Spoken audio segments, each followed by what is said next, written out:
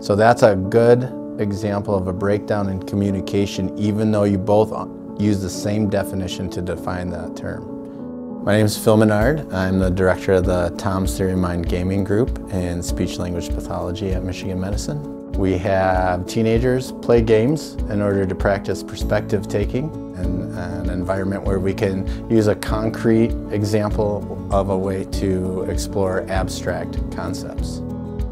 Theory of mind permeates all the interactions that we have.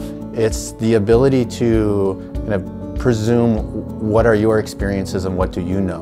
And so how do I tailor the message that I want to give to account for that? To be on the right side of the triangle because the triangle is pointing to your left-hand side. As a director of the program, what I'm looking for happening in every session is a good balance between the kids having fun, but yet being challenged in a way that they can be reflective on their own understanding of the situation as well as help each other. When we're talking about the precision of language, how does it need to be precise? Like when we play this game, it's in a very specific way.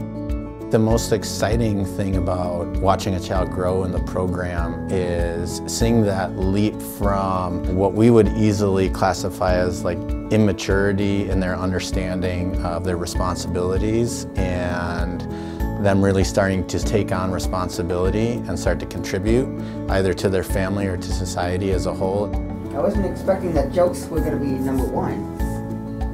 I would agree. That surprises me too. Yeah. The main thing that we want the kids to walk out of here with is a better sensitivity to the world that they're in and how they fit into that. And it's not about negotiation.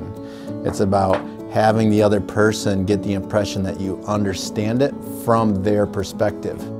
Got it. Got it? Okay, good.